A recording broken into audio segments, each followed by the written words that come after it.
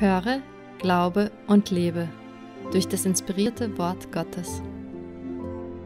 Herzlich willkommen zur täglichen Andacht aus Maranatha, einem Andachtsbuch von G. White. Die Weissagung wird erfüllt werden. 27. Februar.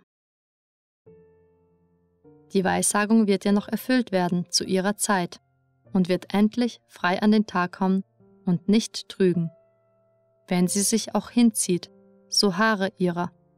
Sie wird gewiss kommen und nicht ausbleiben. Habakuk 2, Vers 3 Der Glaube, der Habakuk und all die Heiligen und Gerechten in der damaligen Zeit der tiefen Anfechtung stärkte, war der gleiche Glaube, der das heutige Volk Gottes aufrecht erhält. In den dunkelsten Stunden, unter widrigsten Umständen, kann der gläubige Christ seine Seele bei der Quelle des Lichtes und der Kraft verweilen lassen. Tag um Tag kann er durch Gottvertrauen neuen Mut und neue Hoffnung schöpfen. Im Dienste Gottes braucht es keine Verzweiflung, kein Schwanken und keine Furcht zu geben. Der Herr wird die höchsten Erwartungen derer, die ihm vertrauen, nicht nur erfüllen, sondern übertreffen. Er wird ihnen die Weisheit schenken, die ihre verschiedenen Bedürfnisse erfordern.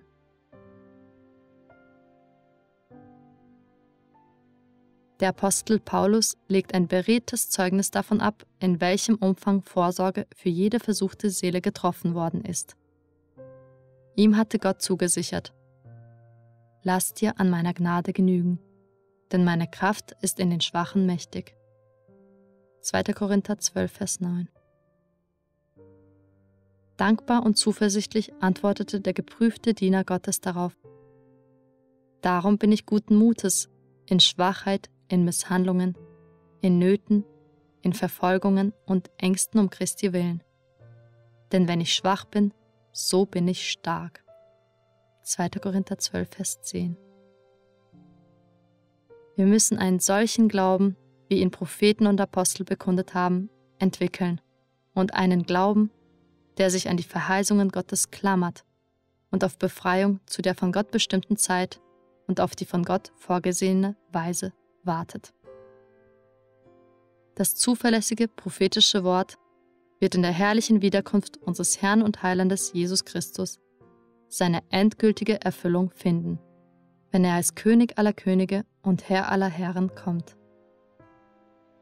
Die Wartezeit mag uns lang erscheinen. Vielleicht sind wir von entmutigenden Umständen manchmal bedrückt. Viele, auf die man sich verlassen hat, sind vielleicht auf der Strecke geblieben. Doch mit dem Propheten, der sich bemühte, den Stamm Juda während einer Zeit beispiellosen Abfalls zu ermutigen, wollen auch wir zuversichtlich erklären. Aber der Herr ist in seinem heiligen Tempel. Es sei vor ihm stille alle Welt. Habakuk 2, Vers 20.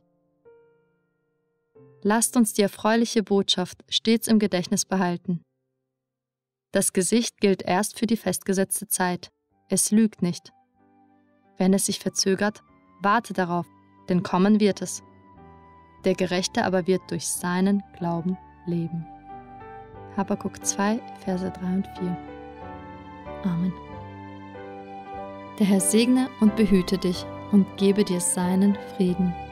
Bis zum nächsten Mal zur Andacht mit dem Titel Eine sichere Zuflucht am 28. Februar.